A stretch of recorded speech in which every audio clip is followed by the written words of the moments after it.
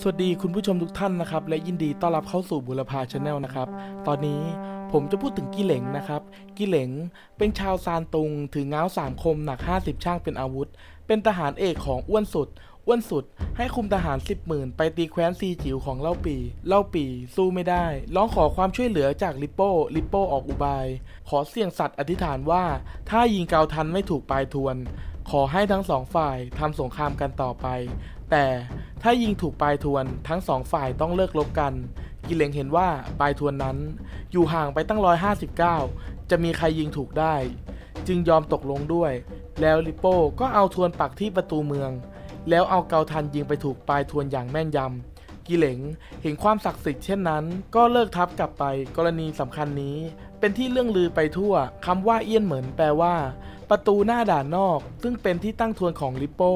เมื่อลิปโป้ ถูกโจโฉจับได้กำลังจะเอาตัวไปฆ่า ร้องขอให้เล่าปีช่วย จึงพูดทวงบุญคุณว่า ลืมกรณีเอี้ยนเหมือนแล้วหรือ ก็จบแล้วครับสำหรับบทความนี้ขอขอบคุณ